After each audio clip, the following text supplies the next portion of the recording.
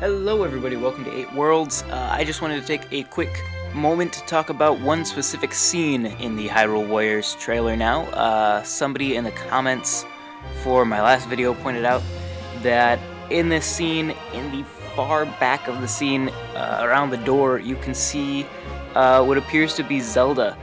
Um, which I zoomed in on it, and yeah, it does. Um, now, I suspect that this is not Zelda per se, um, but in fact the goddess Hylia. We know from Skyward Sword that uh, Zelda is the human incarnation of the goddess Hylia, and we know from the manga at the end of Hyrule Historia that during that first war with Demise, uh, Hylia actually fought alongside the humans with Demise, alongside uh, Link. Um, so yeah, this is just kind of a cool thing that was spotted. Thank you to the guy that pointed this out to me. I don't have your name up on my screen right now, uh, but you know who you are.